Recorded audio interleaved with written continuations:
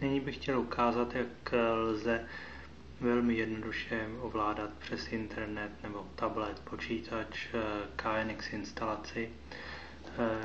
Používám, no, tady na tomhle tom vzorku jsem použil programek volně šiřitelný, stažený z Google Play, jmenuje se AY Control. Velmi jednoduše probíhá konfigurace na počítači. Z počítače se to potom nahraje eh, do tabletu.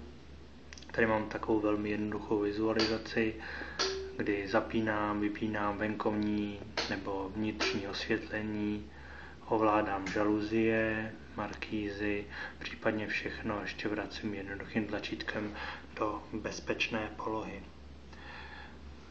Tady tenhle ten program ovládá tady tento demo panel. Na demo panelu je potom nejdůležitější interface, který eh, umožní připojení na eh, IP síť, vede do routeru, potom eh, tablet je připojený pomocí Wi-Fi.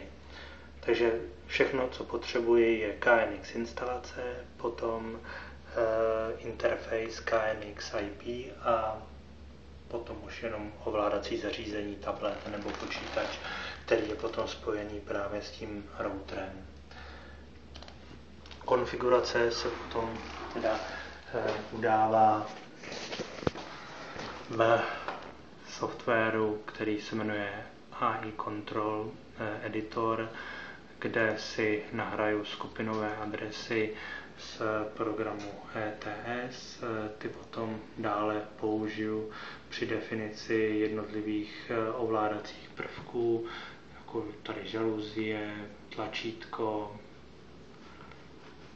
a tak dále. A potom eh, si vytvářím strukturu, jakým způsobem to bude vidět eh, na tom výsledném displeji tabletu.